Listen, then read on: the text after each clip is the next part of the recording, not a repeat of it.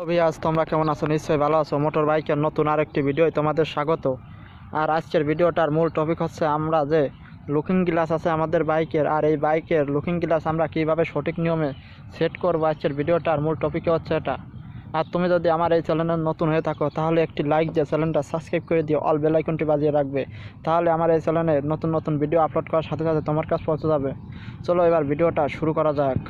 Glass set করা column অত্যন্ত গুরুত্বপূর্ণ। আর এটা যদি আমাদের, আমরা অনেকেই আছি লুকিং গ্লাস সেট না করে অনেকেই আছি, আমরা পিছন ফিরে এরকম তাকিয়ে গাড়ি ঘোড়া আসে কিনা মোর ঘোড়ার ক্ষেত্রে এরকম দেখি বা কিছু ক্ষেত্রে আমরা গাড়ি আসতেছে, এইগুলো দেখি যে পিছনে ঘুরে দেখি। আর এই ঘোরার জন্য আমাদের কলাম অনেক বড় বিপদ হতে পারে। এই জন্যেই আমাদের সঠিক নিয়মে লুকিং গ্লাসটা সেট করতে হবে। আর যাতে আমরা লুকিং গ্লাস দেখেই যেমন এখন যে ভ্যানটি আসতেছে, আমরা লুকিং গ্লাস দেখে ঠিক পাচ্ছি।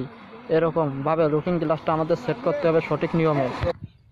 আমাদের লুকিং গ্লাসটা সেট করতে হবে যখন, এখন আমার ছবিটা দেখা যাচ্ছে লুকিং গ্লাসটা সেট করতে হবে এমন রাস্তার দিক দিয়ে, রাস্তায় পিছনে কোনো মানুষ আসতেছে কি না এটা সঠিকভাবে দেখা যাচ্ছে কি না সেরকমভাবে সঠিক নিয়মে সেট করতে হবে। এখন দেখেন আমার বাম দিকতে যে লুকিং গ্লাসটা সেট করেছি, এখন রাস্তায় পিছনে যারা আসতেছে, সবাইকে দেখা যাচ্ছে। এবার এই পাশেরটাও এরকমভাবে সেট করে নিতে হবে। এখন এটা এটা এরকম আছে এইটি এরকমভাবে সেট করতে হবে যে পিছন থেকে আমাদের যে গাড়িগুলো আসবে, সব সঠিক নিয়ম ভালোভাবে দেখা যায়। সেজন্য যেমন এই যে এরকমভাবে আমাদের লুকিং গ্লাসটা সেট করে নিতে হবে। যে পিছন থেকে যে আসবে, আমাদের পিছন ঘুরে না দেখা লাগে যেন। আমরা লুকিং গ্লাসের দিক তাকালেই যেন দেখতে পাই পিছনে কে আসতেছে। এরকমভাবে আমাদের লুকিং গ্লাসটা সেট করতে হবে। অর্ধেক এরকম উপরের দিক আর রাস্তা।